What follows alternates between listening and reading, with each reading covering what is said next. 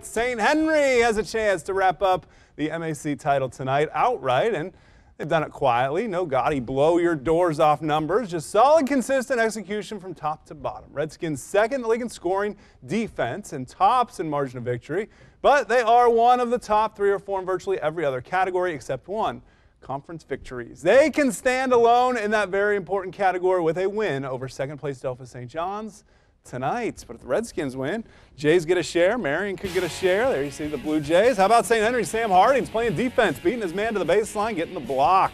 But the Blue Jays stay at it. Jared Wurst on his way to Ohio Northern in the lane and showing off the touch here. Harding's not just the defender. Look at this range from the wing. Hits the three, and that's the Redskins' first lead of the night. And then it's Caden Niekamp, future Ball State Cardinal, passing to Jay Kanapke, who goes right to the baseline. Jay's bounce back. It was close early on. Brady Parrish. Look at this. I'm not sure what that was, but they counted it. Was Two that a double points for? Brady.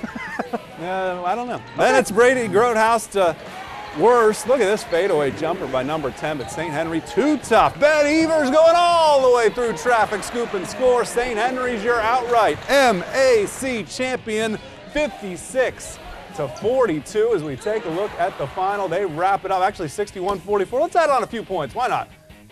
Outright MAC champion, St. Henry Redskins.